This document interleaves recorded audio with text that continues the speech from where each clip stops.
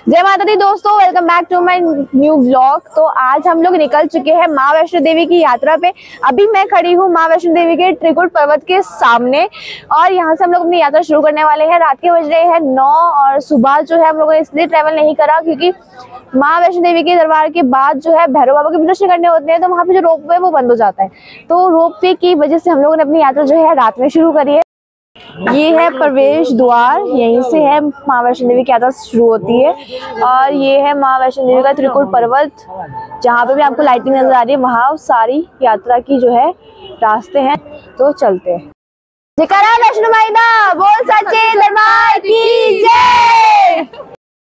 यात्रा करने के लिए यहाँ पे आपको एक यात्रा कार्ड बनता है, जो कि पुराने बस स्टैंड पे आपको मेन मार्टरी मार्केट कटरा में मिल जाएगा। और अपनी यात्रा के लिए आप यहाँ से लाठी ले सकते हो, जो आपको बीस रुपए की पड़ेगी, और जब आप वापस आओगे तो उसको देके आप टेन रुपीज़ कैश वापस ले सकते हो। तो आ जाओ, हम आगे यात्रा शुरू करते हैं। जय माता दी!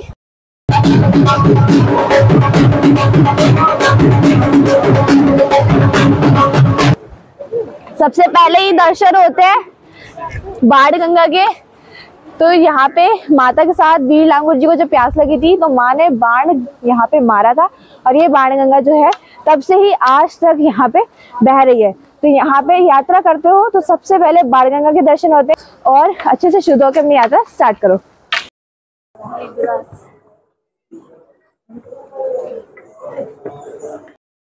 हमने अपनी यात्रा शुरू करी है पैदल।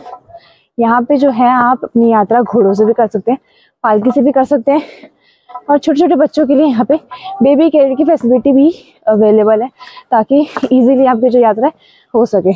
पूरे रास्ते में आपको ऐसी चहल पहल मिलने वाली है। खाने पीने की जगह और फ़ूड स्टॉल्स मेडिकल केयर वगैरह सब यहाँ अवेलेबल रहता है। थोड़ी ही चढ़ाई करने के बाद में यहाँ पे दर्शन होते हैं चरण पादुका के। तो माँ वैष्णो देवी ने यहाँ पे रुक के ये अंदाज़ा लगाया था कि भैरव बाबा उनसे कितना दूर है तो उनके चरणों के निशान यहीं रह गए थे। और आज उस जगह पे मंदिर बना दिया गया है, मंदिर श्री चरण पादुका। तो हम लोग भी अब यहाँ पे मंदिर में दर्शन करते हैं, फिर उसके बाद में अपनी आगे यात्रा की तरफ़ बढ़ते हैं। जय माता दी।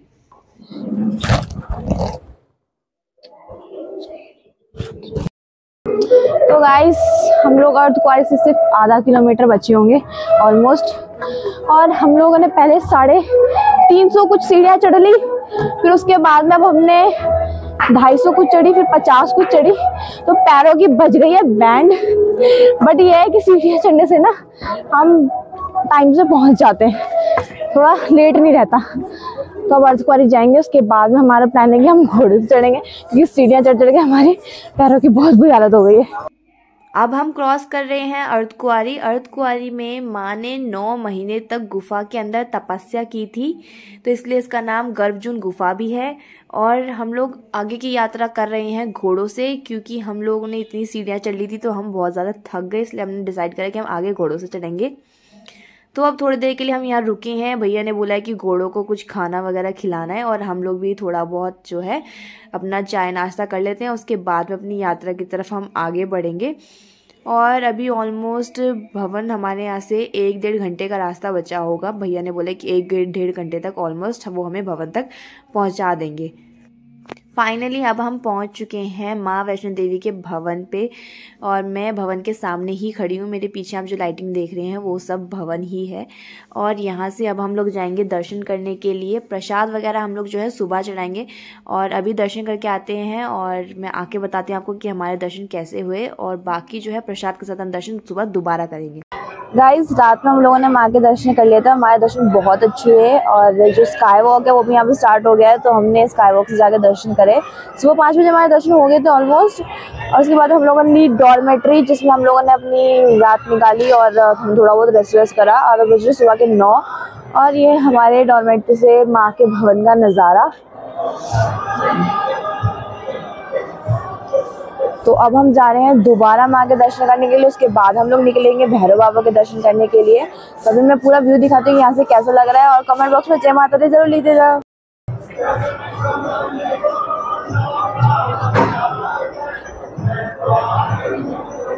यहाँ सामने है ये रोपवे का काउंटर जहाँ से हमें रोपवे की टिकट मिलने वाली है। उसके बाद नीचे जो है, वहाँ पे दर्शन की लाइन है। जो रोपवे के लिए लोगों ने लाइन लगा रखी है वहाँ पे तो अब जाते हैं, दर्शन करते हैं, माँ के, उसके बाद में हम लोग भी निकलते हैं रोपवे के लिए। प्रसाद के लिए यहाँ पे आपको भेंट शॉप मिलेगी, जो श्राइन बोर्ड की तरफ़ से ही है तो यहाँ पे आपको प्रसाद का जो प्राइस है, वो फिफ्टी रुपीज़ और हंड्रेड रुपीज़ पड़ेगा। फिफ्टी रुपीज़ वाला प्रसाद जो है, उसमें नारियल नहीं होता और हंड्रेड वाले में नारियल होता है। तो अब हम लेते हैं प्रसाद और चलते हैं माँ के दर्शन करने के लिए। तो ये रहा स्काई वॉक माँ के भवन तक दर्शन करने का रास्ता। अभी हम लोग जाते हैं लॉकर में, अपना फ़ोन पर्स वगैरह रखते हैं, उसके बाद में चलते दर्शन करने के लिए। जय माता दी। तो माँ वैष्णो देवी के दर्शन करके अब हम लोग चुके हैं भैरव बाबा के दर्शन करने के लिए रोपवे की लाइन में। और हमारे दर्शन बहुत अच्छे हुए, जैसे आप अंदर जाते हैं तो अंदर जाते ही आपको माँ वैष्णो देवी तीन पिंडियों के रूप में दर्शन में दिखाई देती हैं, जो है एक माँ काली, एक माँ लक्ष्मी और एक माँ सरस्वती। तो दर्शन हमारे बहुत अच्छे हुए चलते हैं भैरव बाबा के दर्शन करने के लिए। तो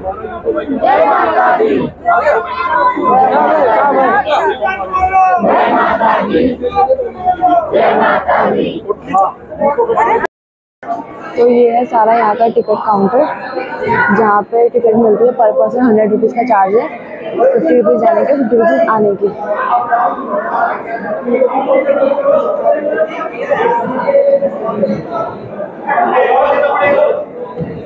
रोप से एग्जिट करते ही। यहाँ पे डेट चौक है जहाँ पे भैरव बाबू को प्रसाद चढ़ाने के लिए प्रसाद वगैरह आप ले सकते हैं।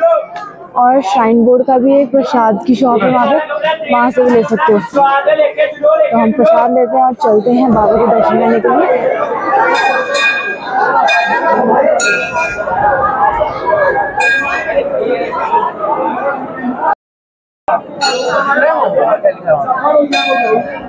बोल भैरव बाबा, की?